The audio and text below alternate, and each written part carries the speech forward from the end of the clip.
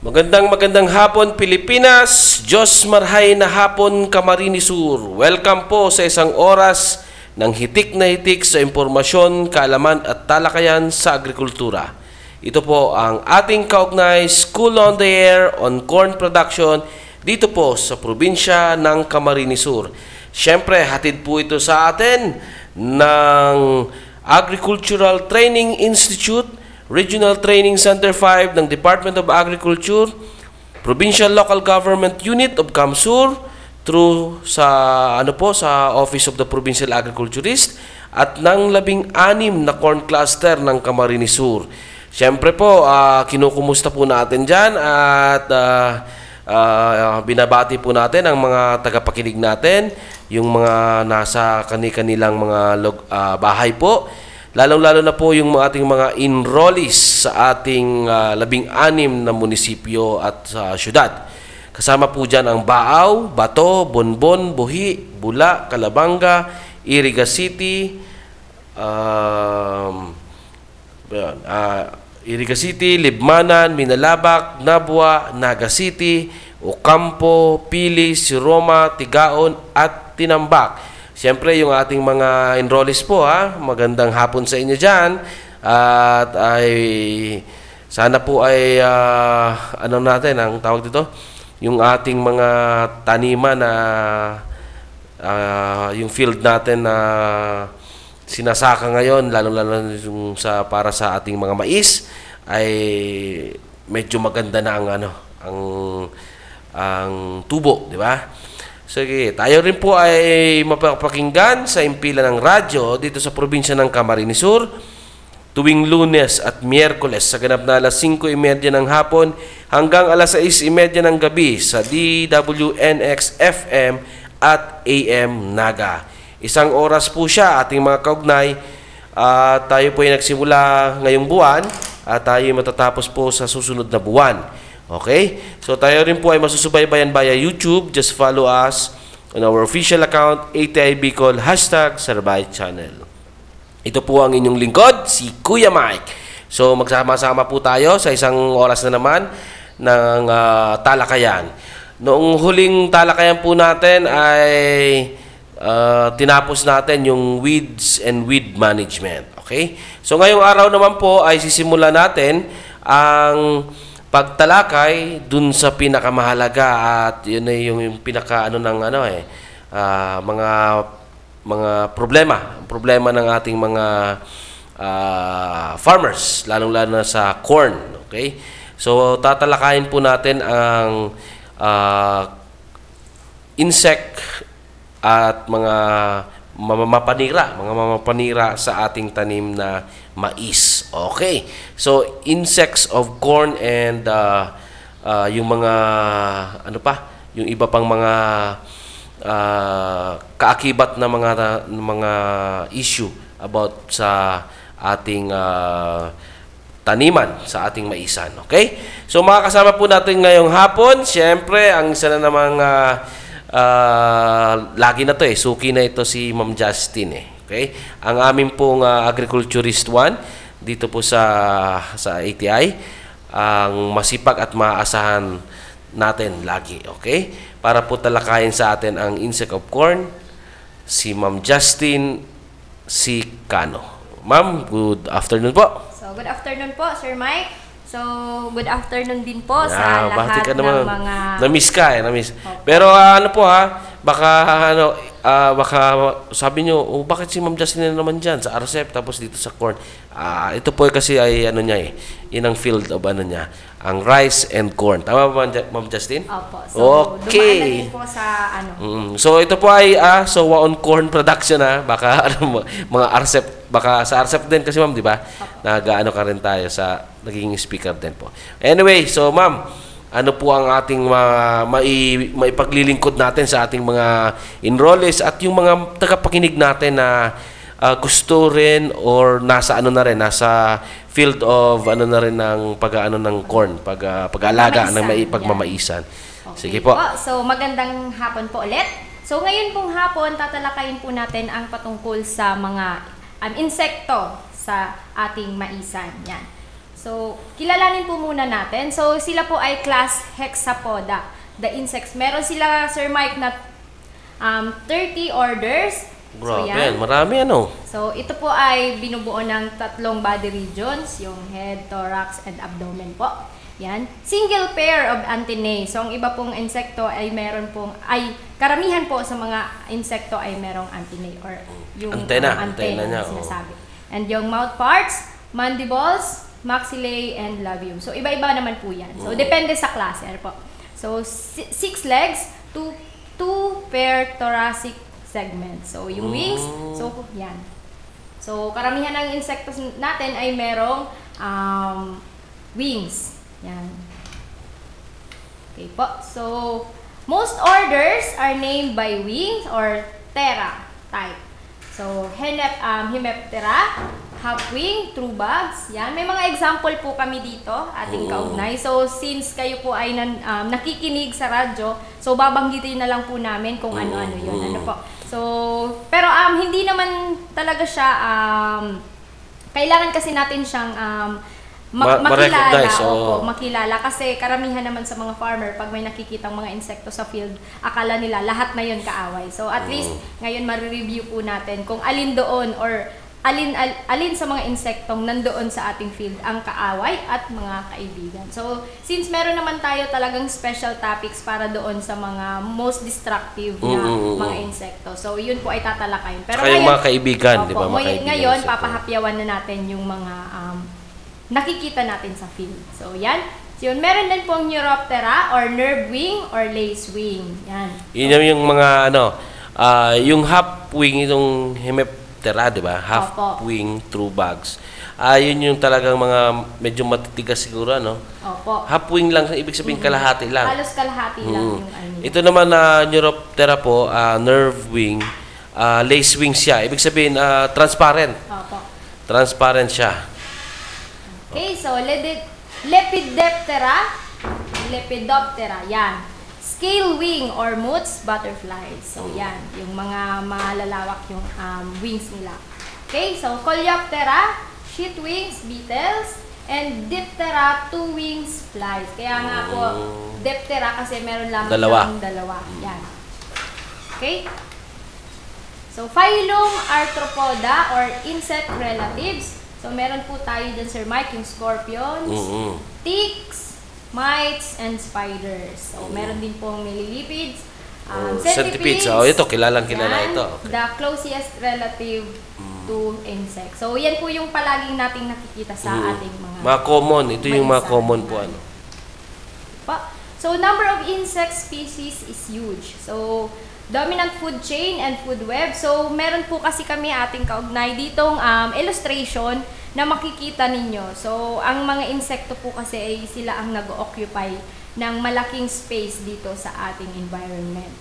So, yan. So, kaya kailangan Taas, natin... baba, Opo. saka sa ilalim po. Kailangan yung- natin silang makilala kasi hindi naman lahat um, na nakikita natin sa field ay kaaway. So, minsan yung thinking ng ating mga farmers, pag nakakikita ng maraming insekto sa ah, maisan, so ang palagi nilang iniisip ay mag-spray na agad. Mm. So, ngayon, at least ma-review natin kung alin-alin alin ba doon yung mga Mapanira. opo, Oh. yan. So, insect, insect pest, ay, insects as pest. So, pest status is subjective. So, it's what we define it as. So, an insect that interferes with human activities, property, or health, or is um, objectionable. So, Mm. hindi naman talaga lahat ng insekto ay mapanira. Mm. So, minsan, Depende. depende Oo. din. Ano po? So, the term pest has no ecological validity. Yan. And a pest exists only in relation to people. So, ang mga insekto po natin, minsan tayo din po yung um, minsan nagiging cause kung Mm. paano sila, sila dumarami. Mm-mm. So, minsan yung mga... Pag marumi, pag marumi, di ba? So, yung sanitation natin, minsan kung ah, medyo poor yung sanitation Okay. natin, dyan natin sila nakikita. Yung sa mga taniman din po natin, Opo. yung pag ah, hindi natin nalilinis or ibig sabihin ah, Kung Hindi madumi natin- ang oh, ating field, Hindi yun. yung maduming ano ah, ah, hindi yung maduming literal na, na dumi may talaga mga po. basura. Oo. So halimbawa, pag sinabi po Sir Mike na madumi, may mga weeds. Yan, yan, yung so, mga weeds. hindi nalinisan yung field. Yan. So yun po yung sinasabi namin na madumi. So minsan kasi na um, Sir Mike naturuan na ba sila nung um, syempre yung land preparation. Yeah, oo, na yun. diba? So 'di ba doon sinabi na dapat yung ating field malinis. ay malinis. Lalo para- yung ta- yung topic natin last ah, episode, yung weeds weeds and weed management. management, 'di ba? Sabi nga doon na ah, pwede kasing pagtaguan 'yon Opo, nung so ating maging, mga pwede insekto. kasi yun maging bahay, Bahay, ng mga peste. oo. So doon sila muna nagpa, nagpapalakas Paparami. para o, may Oo. paparami para makapaminsala doon sa ating maisan. Yan. So only a small fraction of insect are pests. Yan. So sa ibang ano po, Sir Sa Mike, ibang lugar. sa ibang lugar, Oo. yung mga insekto dito sa atin, sa ibang lugar sa gaya ng Iloca, mga Mm, sa, north, Ilocos, sa north, sa northern Ilocos, part. yan Oo. meron silang mga kinakain doon ng mga insekto. Mm. So, doon nga sa Nueva Ecija, na-try ko na din. Yung Um, may nakita ako doon na insekto pero kinakain. Ah, Okay. Pero parang pag hindi ka sanay, madulan. Ta- ano kasi yan eh, ma, ma- ano ang protein content, Opo. content, content nung ano. nung Okay. ating- So, insect are important protein source in many cultures. Yan. Corn plants are attacked by insect pests and diseases during the entire growth period, um, reducing yield, quality, and quantity. So, yan po, lahat ng stages ng ating mais Mm. ay posible pong atakihin ng ating mga insekto. Iba-ibang insekto Opo, yan, ano, Iba-ibang ma'am? insect, insekto po yun. So, mamaya po makikita natin kung ano-ano yon. So, the extent of damage caused by these factors varies greatly depending on the plant's growth stages, stages, um, weather condition, crop management, practice and cropping sequence. Yan. So, proper recognition and identification of these pests and diseases are essential to their effective management and control. Yan, so, kailangan po. po natin, kaya tayo nandito Yan, kasi okay. para mas makilala po sila kasi hindi naman pwedeng um, maglalagay lang tayo ng basta-basta ng mga um, insecticide. Kasi pag ah, mali rin yung treatment, hindi rin. Masa, Opo. sasabihin Minsan, natin, di ba? nagiging immune na yung mga Oo. peste doon. Sasabihin natin minsan, nag-spray naman tayo, pero Opo. bakit di pa rin nawala? Hindi pa rin Eh, nawala. baka po hindi or mali yung ating in-spray. Di ba? So at least ngayon marireview natin kung ano-ano ang mga dapat tamang gawin. Ano po? And then um, bukod kasi sa pag nasobrahan tayo ng pag spray minsan hindi na yung insekto ang nalalagay sa peligro doon, pati yung taong nakapaligid po. Mm. Yan. Saka yung tanim at yung kakain ng Opo. produkto doon. Tama. Okay. Some insect pests of corn. So, unahin na po natin dyan yung white grub or June beetle or toy beetle. So, ang local name po niya, pag larva, ulalo. Ulalo. Ulalo. Oh. Yan. So, yan po yung minsan makikita din natin yan doon sa mga um, sa mga coconut plantation. Mm-mm, Meron din yan. Yan. Nung bata ako, Sir Mike, palagi ko yan nakikita sa may mangga. So, niyuyug-yug lang namin yung Mm. mangga. So, na, nahuhulog na siya. So, ang tawag namin dyan is kalimbubog. Yan. So, minsan ginagawa namin yung parang Pag sa, Laruan? pag sa lagubang na. Opo. Oh, pag larva pa lang, ulalo ang tawag Ulalo. natin. Yan. Pag ah, yun ay nakatapos na at ah, naging full na siya, Naging adult nag- na. oh, nagiging sa lagubang po siya. Opo. Kalimbug. Kalimbubog. kalimbubog sa sa Bicol yan. Okay, so the whole, um, whole larval period lasts from 256 to 336 days. So, Grabe, halos ano? isang taon. Oo. Ano po? Mm. Okay, so description. So, ang larva po niya is fleshy, wrinkled, and normally curved. So, it is white when, when newly hatched but turns Light light, brown. brown. Pag nag um, nag-mature na. So plant growth stage affected. So from um, emergence to seedling stage po Sir Mike. So diyan po yung stage na So um, usually sila, sila yung ano, sila yung tumitira ng mga ano pa lang. opo. ah, Yung mga bago pa lang, pa. bagong Mhm. sibol na mga tanim natin. Opo. Okay. So, yung damage niya, um, so yung mga nanonood po sa aming um, YouTube and Facebook, so makikita ninyo po dyan, so kinakain po ng ating ulalo yung um, root system, hang, Mm. ano po, so yun po yung um, una nilang inaatake. So sa ilalim sila, Opo, nasa sa ilalim. ilalim sila. So, pag present sila doon sa ating maisan, so ang dinadamage nila is yung root system. So, ang root system po natin, siya ang tumutulong para Mm. makapag-absorb ng nutrients and yung water na available po doon. Very, ano yun, kung, uh, Oo, essential so, part. hindi pwedeng diba? um, ma-damage siya kasi hindi na siya makakapag-supply ng nutrients doon sa um, mais natin. Kung Diba? ano naman, kung ah, maka, mat, mapag, ah, mag-survive naman yung plants, So, hindi na So, din siya stunted na siya. Opo, hindi Oo. na din siya magkakaroon ng magandang um, bunga. Bunga. Kasi um, na-damage na yung kanyang root system. So, irregular patches of stunted plant and yellowing or wilting of plant. So, yun yung sinabi natin kanina. Okay, so control measure. So, prepare land thoroughly before planting. So, nag-discuss po Oo. ito sa land preparation. yeah, yan po yung rason kung bakit natin binubungkal ang ating mga lupa bago mag, ah, di ba sa, sa plant preparation pala, ay sa, Sa land, land preparation natin. So binubungkal po natin. Yun po yun para ma ano sila, ma madala sa ibabaw. Opo. At doon pa lang pag na ano sila, pag na nadaanan sila, pwedeng magmamatay din sila, di Opo. ba? And ma- mawawalan sila ng pagkain Hmm. pag nabungkal sila. So, pag wala, syempre, kung wala silang makain, so, may tendency mamamatay Hmm. sila. Ano po? Yan. Seed treatment with chemicals. Yan. So, karamihan naman po ng mga seeds na ginagamit natin, yung mga hybrid. So, yan, mga treated na. Treated ano na po? siya.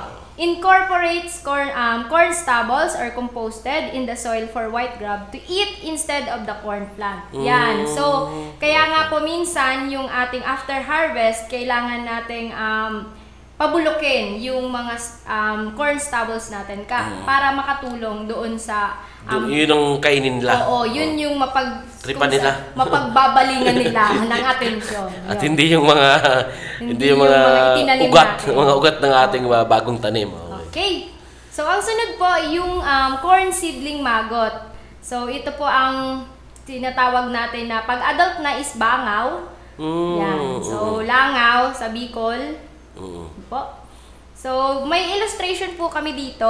So, makikita po ninyo. So, hindi na natin to Sir Mike masyadong um, kasi ma- makikita naman or bibigyan naman yung mga participant natin ng copy nung illustration. So, usually may 2 to 3 days siya na Opo. parang larva ba yan? Larva? So, yung yung description niya po, Sir Mike, is eggs are elongated. So, medyo pahaba. Mm. And pearl white turning dark when about to hatch. So, yan kung siya ay mag um, mapi, mahi, mahihimsa na sa Mm. Bicol, um, nag um, nagiging um, dark na siya compared naman sa pagkapag-itlog pa lang. Yan. Anterior and roundish, slightly curved and laid singly on the outer surface of the leaves. So, incubation period, medyo mabilis kasi 2 Two to to 3 three days. days. lang. So, mabilis siyang um, dumami. Mm. Ano pa? Yan. Newly hatched larvae are creamy. Creamy white to transparent, elongated and topper to- towards the head end. So, becoming dark yellow in the last instar. So, larvae undergo 3 instar from 8 to 18 18, days. days. So, yan po. Nagpapalit-palit siya ng kanyang balat. Yan. So, the pupa is ovoid and light to dark brown. So, the pupal period is um, 5 to 11, 11 days. days. Yan. So, the adults, um, with a greenish black with three blackish stripes on the back of the thorax and three pairs of black spots on the last abdominal segment. So ito po Sir Mike ay mapaminsala sa stage na emergence to um, whorl. So yung medyo um, yung dahon niya medyo ano na, di- ah, may ano na, mga buo na. Opo, Oo. yan. So, leaves, um, yung damage niya po is leaf feeding lesions, curling and breaking of young leaves. So, yung mga inaatake po niya is yung mga batang... nagkukurikot. Opo, mga batang dahon na pag umatake siya, nagkukurok, nagkukurikot. Kukurikot. Yan. So, Okay. sa Tagalog, nag... Um, Kukurundot. Kumukulot. Eh, kumukulot. Oo, parang. so, welting and drying, ay welting, drying, and rotting of central Shoot. Yan. Oo. Infested seedling shows stunted growth and later may produce side peelers. Yan po. So, Yan, control damage, paano po natin siya um, makokontrol? So, syempre, synchronous planting is contiguous area. So, gaya din po sa rice and corn, so dapat synchronous planting po. Kasi pag may mga nahuli or may nauunang magtanim, continuous din po yung pagkain Mm. nila. So, dapat Sabay-sabay. sabayan. Opo. Oo. Kasi kung mawawalan sila ng pagkain, so mamamatay po sila. Okay? Early planting in the growing season to escape high maggot population. Clean culture, including the removal of alternate host plants. So, nabanggit na po natin kanina, dapat yung sanitation Malinis. po natin Oo. ay dapat... Free from um, weeds. Opo. So, yun talaga yung isa sa nakakapag-control ng halos lahat ng weeds. Dapat malinis ang ating maisang. Seed treatment with um, thiodide carb or carbopuran ST before planting. So, yan naman po ay ma, um, pwede nating itanong doon sa mga... Ano naman to eh, Opo. usually yung kung, kung gagamit tayo ng ah, ah, tawag doon, yung Mga treated na yung mga seeds. seeds, yung mga sinabi mo kanina, Opo. ma'am? Yung hybrid or Opo. Yung karamihan po sa ating mga hybrid ay Mm, treated. treated na po siya. So magtatanong na lang po tayo dun sa mga technicians ng mga company or sa mga technicians sa LGU. Mm. Okay? So corn borer, so ito yung pinaka-destructive dati. Pero ngayon parang meron na po Sir Mike. Ano? Tinalo na siya Ah, ng ano? Tinalo na ata siya ng Ng pau. pau. Yan. So scientific name niya, so Ostrenia fornacalis. And local name, amasok or tibgoy Tibgoy. sa Bicol. Yan. masuk. Masuk. Yan. So, so yung description, eggs are flat, creamy, shiny, and laid in mass. Yan. 25 to 30 eggs Dami sa yun. isang ano. So, halimbawa kung mang mangingitlog na isa lang, so ilan na yung pwede niyang ma-produce. Ano po? So, in fish scale, like arrangement on both sides of the corn leaves. Incubation period, Sir Mike? Four to five. 4 to 5 Days. days. So, newly hatched larvae are pinkish with black or brown heads. Later instar are creamy and brownish yellow. So, it molts 5 times from 12 to 13 days. Days. So, the pupa is dark red and the pupal period is 5 to 12 days. Yun. So, medyo ano siya, matagal bago din um, lumaki. Yan. So, adult is yellowish brown most with waxy dark lines on wings with an expansion of about 35 millimeter. Total development period from eggs to adult range from 25 ay 27 to 52 days. So, may halos lampas ng um, halos magdadalawang buwan. Okay po. So, growth stage affected. So, early world to maturity. So, dapat sa stage na yan, nababantayan po natin yung ating maisan. Ano, so, hindi natin, kung pupunta tayo sa ating maisan, hindi natin yan basta-basta nakikita. Kasi pag sinabing corn borer, pumapasok Sa ilalim. sa um, loob. sa Ano loob. po. So, kaya dapat, um, kaya tayo ina-advise, tayong mga farmers, na pag bumibisita tayo doon sa ating maisan, dapat pumapasok talaga tayo doon sa ating field. So, hindi lang doon sa pagilid. Ano po? So, ini-inspect natin kung may mga damage or may mga present na doon na damage ng farm borer.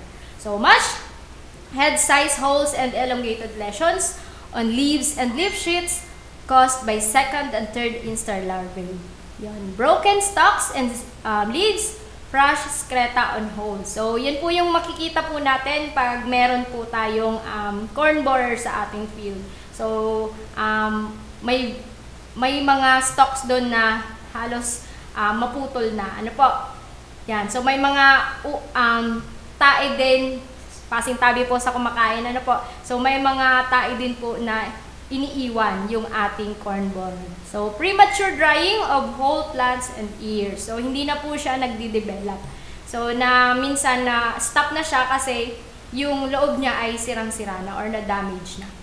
Okay, so other corn borer damage. So, makikita po ninyo dyan, perforation in stalk. So, yan, medyo um, yung mga nakakakita po doon sa aming Facebook Live. Yan, frost on perforated stalks. So, meron po kayo dyan ma-observe na mga parang um, molds. Ano po? So, halos kasing, um, kasing pareha siya ng mga amag. Pero, um, ang tawag po doon is frost. Ano po? Broken stalks and tassels. Yan. So, kasi pag nag-bore na dyan ang corn borer, so, posibleng maputol. Ano, so, yan po yung ma-observe natin sa ating maisan. Okay, control measures. So, paano po natin makokontrol ang corn borer? So, yung una, early and synchronous planting. Yan. So, yan po yung palaging um, nire-recommend. Um, and, syempre, doon sa mga areas na um, na, na na ano na, na testing na yung mga resistant varieties.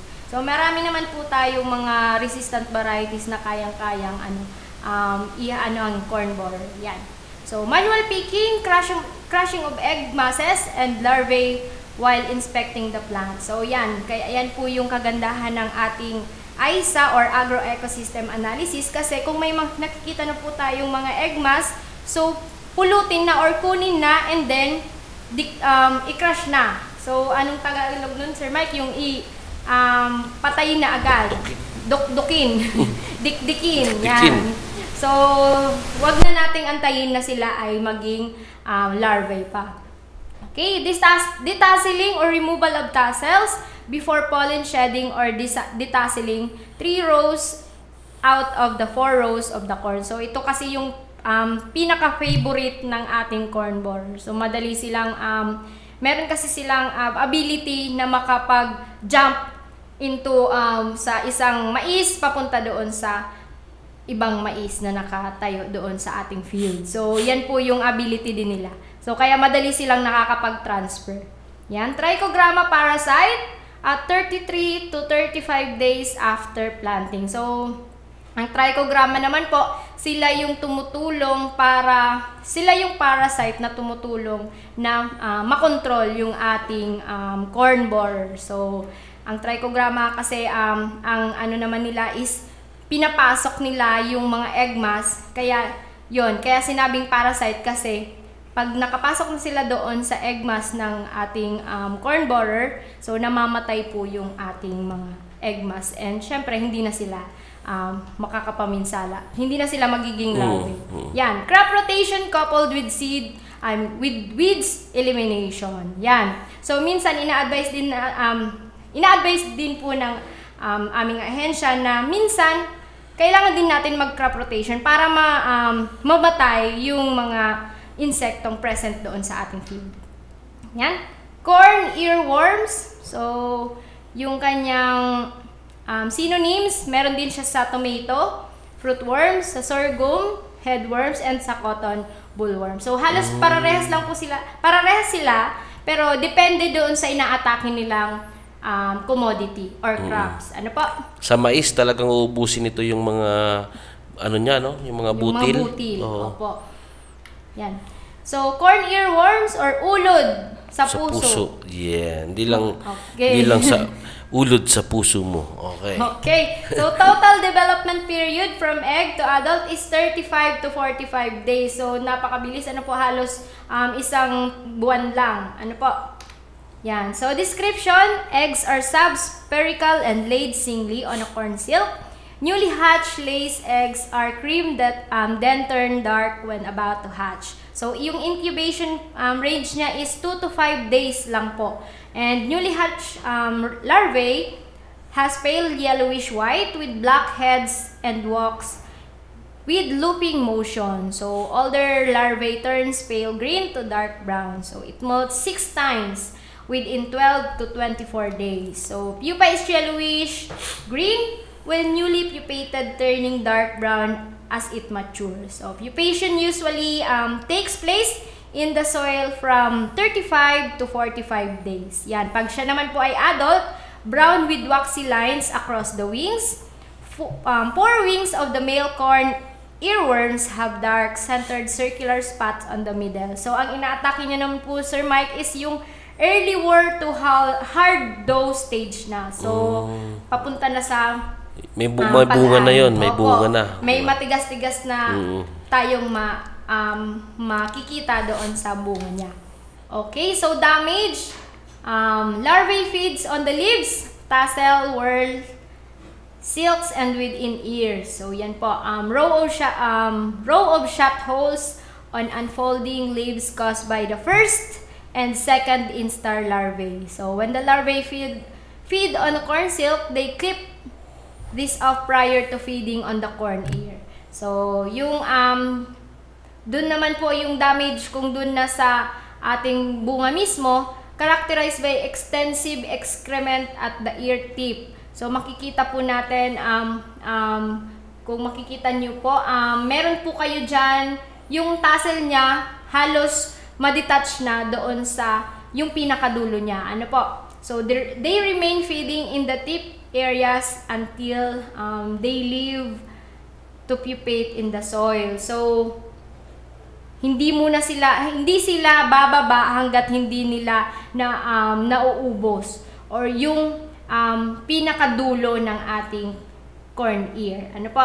So yung ma-observe po ninyo doon sa dahon, meron siyang parang um, ay meron siyang butas na kung saan nakalinya. So madali siyang ma-recognize kasi yung dahon niya is yung butas-butas niya is nakalinya. Ano po? So, pag nakakita ka kayo nun, so it means yun po ay um, corn earworm. Yan. Okay, so yung management and cult- cultural practices po natin na Mm, yan gagawin ang, is yan ang dapat importante. crop Oo. rotation. Yan, dapat mag-practice po tayo ng crop rotation. So, avoid planting successively that are host to corn earworms like corn, cotton, sorghum, tobacco, soybean, and tomato. So, yun pinakita po namin kanina.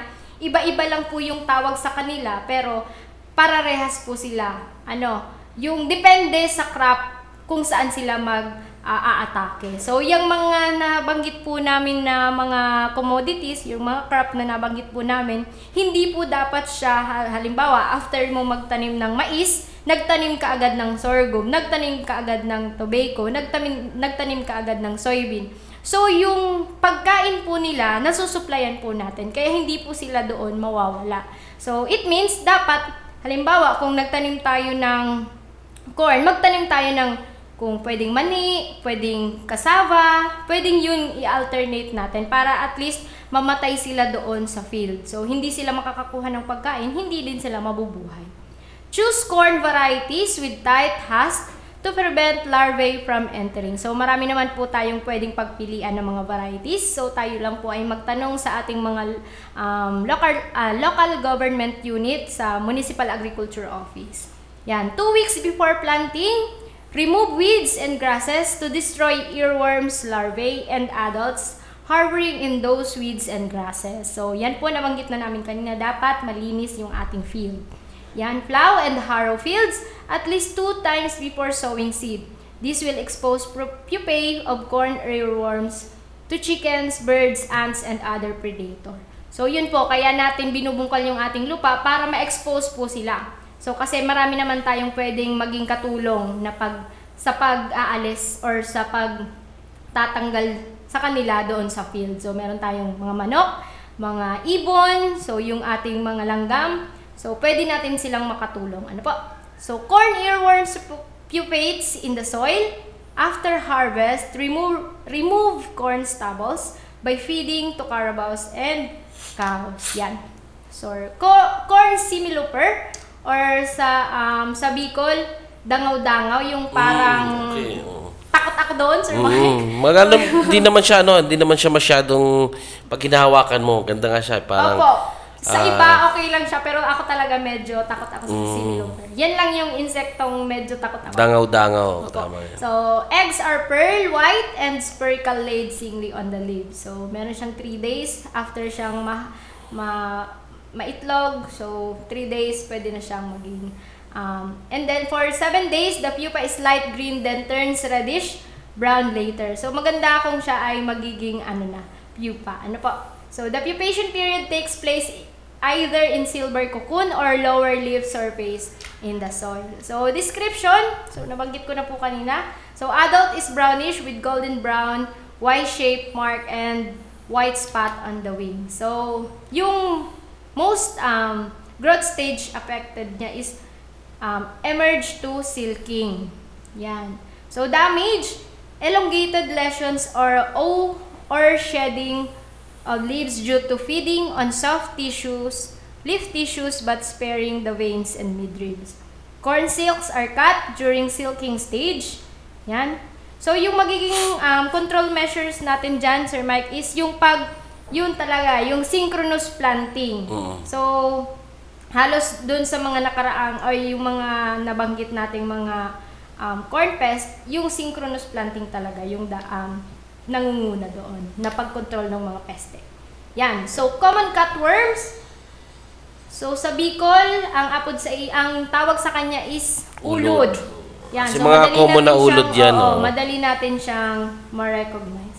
So pero pag nag um, nag adult na siya, maganda siya, Sir Mike. Pero destructive din to sa ating maisan. So description, eggs are round, pale white and laid in mass on leaves or objects on the ground covered with yellowish brown hairs. So yung incubation period niya is 3 to 5 days young larvae is um, larva is greenish with black band. One third of the length from head and the full-grown larva is green with bright yellow dorsal line and lateral stri- stripes with black spot. So growth stage affected. So from emergence to early worm. Yan. So damage. So makikita nyo naman po para siyang um, para siyang kinaros. Um, Oo. Sa Tagalog, para siyang kiniskis. Mm. Yan. So, Tapos may tira siya, may tira Opo. siyang yung mga hibla, tira, ano. Opo. Pero yung bu- kabuuhan niya ay natitira. Ay Oo, nawawala. Nawawala. Oo. So, halos may natitira, pero yung yung mga hibla na lang, hibla. Opo, yung oo. mga importante. Butas, butas na siya eh. Oo, no, nawala na. So, scraping of leaves tissues by young larvae, leaving irregular gray, grayish-white patch on the leaves. So, older larvae may cut stems and leaves, including veins and midribs. So, ito po yung um, parts ng ating dahon na pinaka-importante. Kasi pag ito ay na-damage, so, yung mga, um, yung nutrients na nakuha nila is na damage na din po. So, hindi na nakaka-distribute equally doon sa ating dahon. So, young plants may be completely defoliated by older larvae. Yun. So, mas, kasi pag yung mga bata nating mga um, tanim na mais, yun yung um, madaling um, ma, ma-damage ng ating um, yan, cutworms, common cutworms. Okay, so makikita nyo po sa aming illustration yung um, naging damage po ng ating common cutworm. So, Mm. Talagang pag nasa ilalim, nyo no? is, Grabe yung ano niya, kasi yung dahon niya halos mawala na, halos yung natira na lang is yung um, yung parang nasa gitna, yung nasa gitna na lang yung natira, yung halos yung lahat ng parts ng dahon ay nawala na. So pag iniwan ng ating common cutworms, parang wala nang pag-asa. Ano po? Yan. So, paano natin siya makokontrol? So, una, plow fields to remove weeds which may serve as alternate hosts. Yon. So, ah, sa ating land preparation, so napaka-importante talaga ng ating land preparation. Napaka-importante talaga na malinis yung ating maisan. Ano po? And then, collect egg masses and crush them. So, pag may na-observe po tayo, kaya dapat, um, pag pumupunta tayo sa ating field, kahit once a week lang, every time na pumupunta tayo, pag may mga na-observe na tayong mga egg masses, dapat alisin na natin and i-crush na natin. So, patayin na natin agad. So, make small trenches around the field and put some cut grasses for shade. So, collect hiding larvae during early morning. So, mas ina-advise po natin na maghanap tayo ng mga insect pest um, umaga pa lang, early in the morning kasi dyan sila dyan natin sila makikita. Kasi pag mga late, late ano na, late noon, so hindi na sila masyadong nakikita. Chemical spraying if severe infestation. So pwede tayong gumamit na may active ingredients na pyrotor, pyr, pyrethroids. Yan. Okay po. So yung army worm, so ito po, meron tayo ditong um, special topics kasi ito yung um, Mm. ito yung g- ano natin ngayon, Parang ano nga eh, parang ito yung ngayon yung ano, Most destructive. Oo, Opo, yung napapanahon ng- na la- talagang Opo, karamihan sa ating mga ano, mga, oo. mga munisipyo dito sa Kamsur. Ganun yung problema. Meron fall army worm. Ano po? Yan. So may tatlong klase kasi ng armyworm. So yung yung black, Spodoptera exempta, yung grass, Spodoptera mauritia, and yung true armyworm, Mithima separata. So yan. So yung mga ating kaugnay namin, siguro baka sabihin nyo, hindi na namin yan ma'am ang kailangan malaman kasi hindi naman namin yan matatandaan. Pero at least narinig ninyo po and makikilala nyo po siya pag nakita niyo. So, yung armyworm na black, mayroon pong grass and may true armyworm. So, yan. So, yung com- comparison, medyo uh, skip na natin yan kasi meron naman tayo niyang special topic. Mm. Yan. So, yung armyworm identification, so, meron siyang body slick with small head. So, maliit lang po ang kanyang ulo. And then, brood, dark band along the top, of, the body. So, makikita niyo po sa illustration. Basta yung mga ganun na kulay, ah, y- alam ko yung mga nagmamais dyan, Opo. kilalang kilala nila to. Kilalang kilala Oo. na nila yan. So, brown net-like pattern and dark arcs on the head. Yan. And body mottled and vari- variable in color from brownish to dark green with alternating and contrasting stripe. Yan. So, yan po yung iba't ibang klase ng ating army worm. So, yung black, yung true, and yung grass army worm. Okay? So, yung damage po niya, um, irregular elongated feeding on and along the edge of the leaves but leaving the midrib uneaten. So, yun po yung tinitira nila yung midribs. Kagaya din po ng cutworms. So, yun yun hal- halos pag um, infested na nila yung ating mais. So, pag binibitawan nila yung isang at yung isang um, corn plant, halos yung natira na lang is yung midrib. So, meron pa naman silang tinitira. Pero hindi na po siya hindi na po siya makakapagbigay sa atin ng magandang bunga. Ano pa? So, damage, larvae eats the leaves leaving only the midrib when present in the great numbers. The larvae may completely devour the young plants. Yan. So, late whirl infestation may damage the young tassel. So, feeding on silk may occur at flowering period. And then, growth stage affected. So, ito po yung mga stages na medyo um, yun, yun time na nag-aatake ng grabe yung ating armyworm. So, late whirl to grain filling stage. So, itong stage na to is, um, sa, para sa akin, ito yung pinaka-critical. Kasi dito na nabubuo yung mga butil doon sa ating ear, corn ear. So, pag na-damage pa yon so posibleng hindi tayo mabibigyan ng magandang um, bunga. So, yung magiging control measures natin, so egg masses and larvae should be collected and crushed. Yan. So, pag may nga mga na-observe na tayong mga egg masses doon, kunin and i-crush. Employ chemical control if there is an outbreak. So, kung hindi na kinaya ng ating mga natural enemies, kung hindi na talaga kaya and yung threshold, um, yung damage doon sa field ay medyo mataas na, pwede na tayong gumamit ng mga chemical, ano, chemical pesticides. So, pwede po yung pyrethroid, triazopos, insecticide. So, magtanong na lang po tayo doon sa mga ah, mga yung farm stations kasi sila yung mga expert kung ano yung basta yung mga active ingredients tandaan lang po natin kasi iba-ibang brand naman po yan. Ano po? So leaf corn leaf aphids. So ito napapakali, napakaliit lang nito pero grabe grabe din yung mga um, grabe din yung damage na naibibigay nila sa ating maisan. So yan.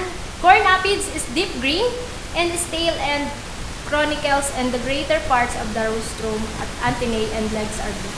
So it's um, it is marked dorsally with two longitudinal longitudinal dark bands and the abdomen with two black spots on each side. So sabi nga pag may na-observe tayong langgam, posibleng may aphids. Ano po? So kasi nagtutulungan yung dalawa. So yung ating um, langgam, hindi naman talaga siya nakakapanira. Kaya lang siya yung nagdadala, nagtatransport, tinutulungan niya yung aphids na pumunta doon sa ating maisan. Ano po? It multiplies rapidly, so mabilis po siyang ah, magparami, being able to re- reproduce when, um, when it is just 11 days 11 day old. 11 days old. Ano po? So, 11 days lang kaya niya pong magparami. Ano po? It gives bra um, it gives birth without the intervention of males. In fact, males are extremely rare. So, pwede po silang makapag-produce ng kanilang baby kahit po walang um, walang tulong or hindi walang lalaki doon sa grupo nila. So, yan. So, ang mga male apids ay bihira lang pong makita. Ano po? Yan. So, both adults and nymphs are not active. They just stay and feed on one parts of the plant. Sometimes they develop wings that enable them to migrate to other corn plants or host plant. So, they also live symbiotically with ants. So, yan kanina, nabanggit ko na po kanina na tinutulungan sila ng ating mga langgam para makapunta doon sa ibang um, parte ng ating field. So, yung pinaka-destructive or yung pinaka-stages na affected nila is yung early world to post-silking stage. Yan.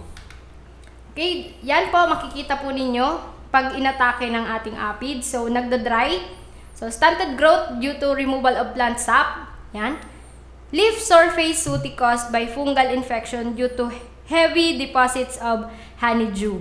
So, infested leaves and tassels are um, ear can dry prematurely. So, hindi na siya nag, na, mag- nagiging matured Mm, kasi na um, na infest na siya, na ng siya, no? aphids. So, yan. So, aphids are known to transmit the sugarcane mosaic virus. So, and maize drop mosaic virus. So, pag may present um, nat, sa maisa natin ng aphids, Aphids. posibleng um, magkaroon ng virus doon sa ating field. Okay? So, paano natin siya may iwasan? So, grow different crops or grow crops in rotation every cropping se- season. So, magtanim tayo, halimbawa, corn, rice, Mm, corn. alternate siya. Okay, Oo. corn, kasaba, corn. So, at least, ma mamamatay natin or mamamatay natin yung aphids na present doon sa ating cornfield. So, anise, chives, garlic, onions, and radish are also good companion crops. So, itry din natin ating mga kaugnay na um, um, Palagtanim. tamihan or Mm. lag, um, pwedeng sabihin na intercrop natin yung anise, chives, garlic, onions, Garlic and and radish. radish. So, itry ko din nga to, Sir Mike. Sige, Yan. sige. So, magsisimula na din kasi ako magpatanim. Ng mais. Opo, kasi naglalag. Kaso pag ano ganito, ang problema ay kung isang ektarya, di isang ektarya tatanimin mo ng... Oh, makakapag-produce ka na ng other crops. Hmm. Madadagdagan sa isang hektarya ng mais, madadagdagan pa yung commodity mo, madadagdagan pa yung income mo. Hmm. Ano po? Ito bang pag, pagtatanim natin, natin ito nung ganyan, garlic or onions, ay pa, halos sabay ba yan kung sakali? Hindi po, kung halimbawa, yung garlic naman kasi is hindi naman siya deep-rooted. Ano Mm. po, so sa Bulb ibabaw siya, lang di ba? siya. Bulb. Opo. So hindi naman nagre-require na isabay natin doon sa mais mismo. Hindi, ibig sabihin yung- nakapagtanim na tayo ng mais, Mm. mga after two weeks, pwede na rin tayong magtanim ng garlic. Or Tapos pwede pag, naman oh, pagka, isabay. pagka ano niyan, ah, pag mag-aani ka na ng mais, maani, aani, aani mo na rin yung garlic, pwede na? Opo, so tingnan din natin kung ilan yung maturity days ng ating garlic. Ano po? Mm, mm, So, kung mas mauuna siyang i-harvest doon sa mais, okay lang. Ano Oo, po? or- So, kung mauuna naman yung garlic, okay lang. Oo. So, titingnan Kung mauna natin. yung mais, delikado. Hindi naman siya... Hindi naman. Kasi, Kasi syempre- tatanggalan lang naman natin siya ng um, yung bunga, di ba? Oo, hindi yung Kinukuha lang naman apakan natin. So, nasa sa atin din po yun. Mm. Kasi iiwasan din po natin maapakan. Kasi mga ano to eh, mga kung titingnan natin yung itatanim natin puro yung mga, Mga- sa ilalim ng lupa, di ba? Yung garlic, yung, yung, ating onion, halimbawa yung, yung garlic, radish, di ba? Hindi naman hindi naman siya masyadong deep rooted. Mm. So halos So kailangan din planuhin ang Opo, ang kaya din ah, meron din po siyang planting distance na sinasabi. Mm, okay, tama. So dapat inaalam din natin kung ilan yung planting distance nila sa isa't isa kasi dapat meron din tayong i-allocate na space para doon sa dadaanan natin. Hindi Correct. naman um, magkakadikit masyado kasi hindi na natin siya ma- ma-manage. So yung weeding natin doon, yung nutrient management, hindi natin Mm-mm. mapapacilitate ng maayos. So dapat sundin din natin yung mga Mga recommended in-between siguro, ano, sa opo, recommended recommended planting distance. Ano pa? So avoid using heavy doses of high highly soluble nitrogen fertilizer. So yan, pag nasobrahan ng nitrogen yung ating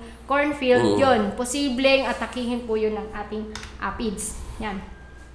Yon. So, new corn plant hopper pest, yung sinasabing waya-waya. So, yung nung maka- mga nakaraang taon, ito din po yung naging isa sa pinaka-destructive Mm. na peste dito sa Bicol region. So, yan. Comparas, comparison between two corn plant hoppers. So, meron kasi dalawang klase na nakita dito sa Bicol region. So, yung Peregrinus maides and Sterocranus pacificus. Yan. Nymph or young Peregrinus species is yellowish Mm. Ba um while yung Sterocranus pacificus um yung eggs can be shaped like sausage. Yan, usually laid masses in longi- um, longitudinal slits of the larv leaves near the stem with incubation period of Five to 10 5 to 10 days. days. lang po.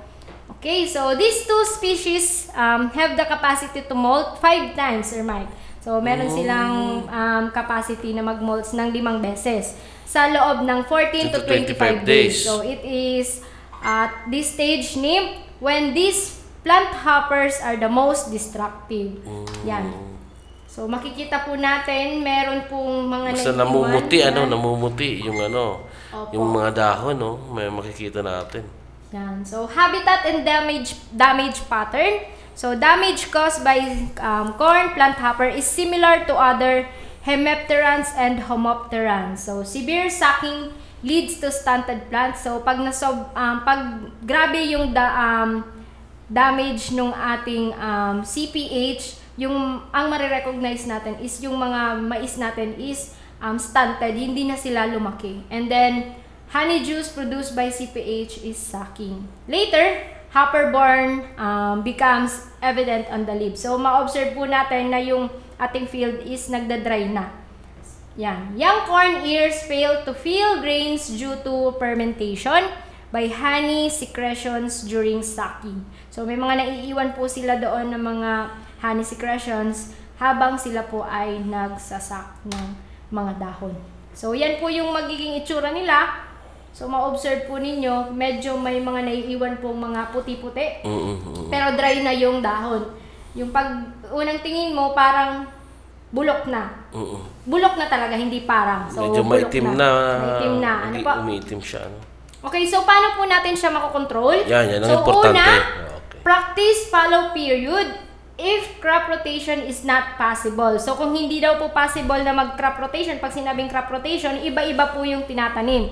Ano, so halimbawa, corn, sa sunod, pwedeng kasaba. Pero kung hindi daw po possible, alternate corn planting. So, pag sinabing alternate corn planting, so magtatanim ka din ng ibang um, crop. Halimbawa, yung sabi ko nga, yung corn, kasaba, corn. Ano po, so halos kaparehas din siya ng crop rotation. Pero, Ito sabay, bibig- nakasabay na to. bibigyan natin ng pagkakataon na makapagpahinga yung ating Oh. Field. Kasi yung, di ba, pag sa land preparation after harvest, um, kailangan natin pagpahingahin yung ating um, cornfield. Oh. Kasi para mamatay, bukod sa para mamatay yung ating mga insekto doon, yung mga corn stubbles ay maki-incorporate para maging compost. Ano po? So, para makatulong, para, para maibalik yung mga nutrients na available doon sa soil. Ano po? So, plow under or born corn stubbles. Follow recommended fertilizer requirements. So, yan po. So, dapat before tayo magpatanim, sa halo, um, magpa-soil analyze po tayo. Ano? Kasi um, bukod po sa um, importante yung pagsa-soil analysis natin, at least na hindi hindi na, na hindi na tayo nagdadagdag ng um, sobra-sobra na fertilizer. At least sakto lang yung mailalagay natin doon. Ano po? So sabi nga, Mm. okay. So yan. Ano pa yung mga ibang ano natin, ah, insects na Okay, so meron peste? pa po tayong iba, yung silk clipping insects. Yan.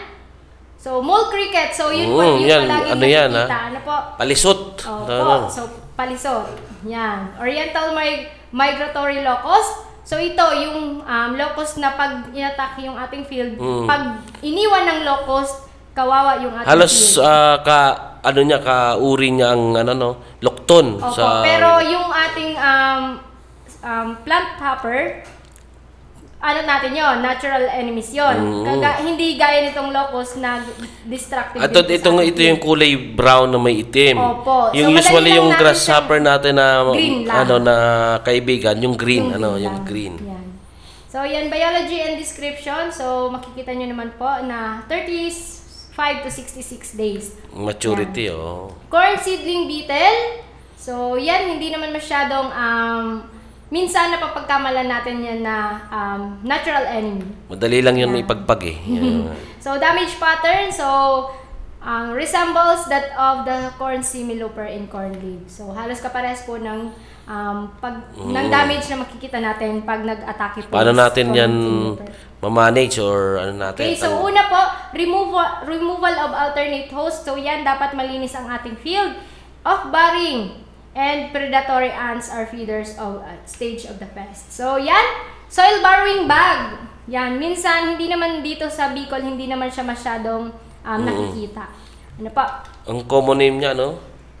Yung um, common name niya is soil borrowing bug. Mm. So, usually doon siya sa, syempre, doon sa soil. Soil, sa oo. soil lang.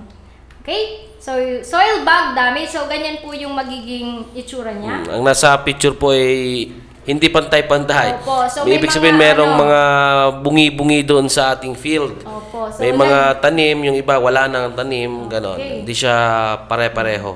So, yan lang po, Sir Mike. So, yun po yung mga insect pest sa ating cornfield. So, sa susunod po, meron naman pong um, um, topic um, regarding po doon sa ating um, mga natural enemies. Ano po yung mga katulong nating mga insekto sa Mm-mm. pagpuksa nitong mga insect pest natin. Yun po, yung sinasabi natin na hindi lahat ay mapa- mapaminsala. Yung iba naman po ay makakatulong na makakatulong natin sa ating Maisa. pagmamais. Okay. Okay. So, yan. Alos um, sana po ay yung ating mga kaugnay, lalo na yung mga enrollees natin, ay talagang na, nakatutok po tayo kasi mag, ma- mga mahalaga at importante yung impormasyon yon na naibigay ni Ma'am Justine. So, ayan, ah, Natuto na naman tayo ng mga bagong kaalaman sa agrikultura. Napaka-berlis po talaga ng oras. Okay? So, Ma'am Justine, maraming salamat po. Maraming salamat din po Sir Mike sa pag-invite po sa akin Mhm. um, para makapag-share ng knowledge ko po dito sa ating corn production. Yes. Sana po may natutunan po ang ating Lagi, mga lagi, lagi. oo. kaugnay. Ano Oo. po? Ah, salamat, Ma'am. At lagi kang ah, available sa amin. At um, k- ikaw ay lagi pong welcome sa amin para sa mga topic na ito, sa lalo na sa rice and sa corn. So, ma'am, maraming salamat po at maraming maraming salamat din po sa ating mga kaugnay. Lalong-lalo na yung ating mga iba pang mga hindi enrollees pero talagang nag, na, Nakikinig. nakikinig Ano sila sa radyo. Ah, ano po, lalo, may mga iba na nag-text sa akin ay yung ah, na nasa sasakyan sila kasi pauwi na, di ba? Usually, ah, 5.30 kasi to 6.30 yung schedule natin eh. Yung mga pauwi na, kami sa naka-tune in sa radyo at nadadaanan ng ganito na programa ay nagpapasalamat sila. So maraming salamat din po sa inyong pakikinig at panonood siyempre. So sa susunod na episode po ng ah, ating ah, kaugnay, School on the Air on Corn Production. Same time po tayo at same station. Siyempre, ito po ang inyong lingkod, si Kuya Mike, nag-iiwan ng isang masaganang ani, mataas na kita, mga kaugnay. Stay safe, stay home, together we conquer, we heal as one. Diyos mabalos po.